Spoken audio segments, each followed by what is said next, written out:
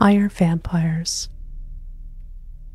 Men, the polite ones at least, would call me a monster, a blood drinking freak.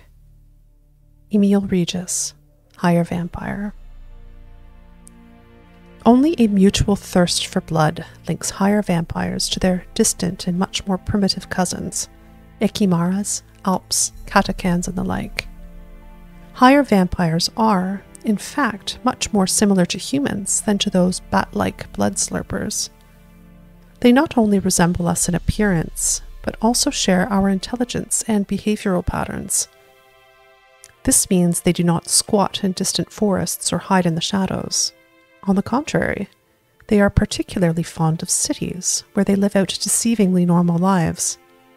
Even witchers are not capable of recognizing them at once, for their medallions remain perfectly motionless in the presence of higher vampires. Yet all these similarities should not blind us to an essential difference. Unlike men, higher vampires are immortal.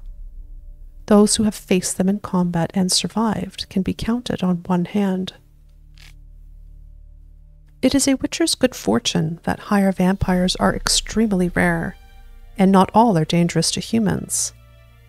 Though they do have a taste for blood, they do not need to drink it to survive. Some higher vampires have renounced feeding on humans altogether and do no harm to anyone, but others give in to their desires. A witcher who braves fighting a higher vampire must bear in mind that he faces a monster endowed with incredible strength, one able to manipulate men and animals, turn invisible, and transform into a giant bat, and furthermore, one which it is nearly impossible to kill.